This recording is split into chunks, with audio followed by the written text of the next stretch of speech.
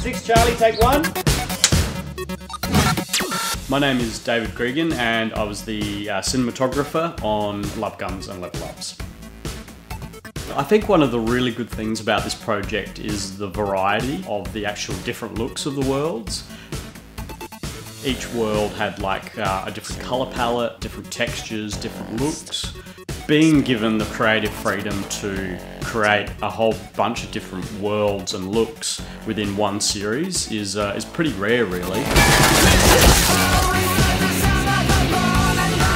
Probably my favourite world uh, to do was Zombie World, which was episode 4. I think just the reason for that is because it's uh, starkly different to the rest of the series. It's a lot darker, it's a lot bleaker. It was quite overcast, uh, which a lot of zombie uh, films usually are. They're um, dark and moody, so we push the blues a bit more, blues and greys. We put a little bit of grain in there because um, you know we used The Walking Dead as an example and Dawn of the Dead, other zombie movies, and they're quite grainy. So I really enjoyed being able to sort of play with you know like a lot of darkness and haze and a bit more like theatrical lighting in that one.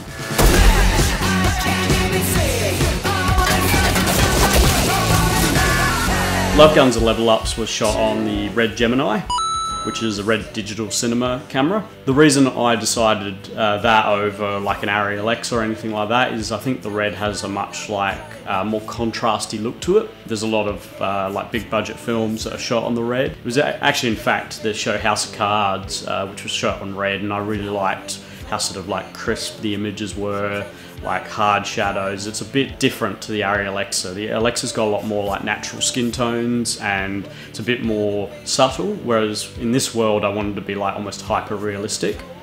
The lenses I used were Zeiss compact primes.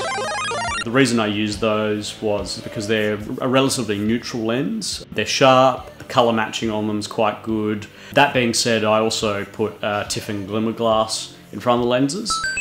And essentially what Tiffen Glimmer Glass will do is it creates like a little bit of a bloom and highlights. So if you sort of look at like blown out windows or uh, lamps, you might see a little bit of a bloom in it. Also, Glimmer Glass helps to soften skin tones. With digital sensors, a lot of the time it can be quite hard. I always try and use uh, diffusion filters just to soften off skin tones. It just takes the hard edge off of it just a tiny bit and blooms those highlights.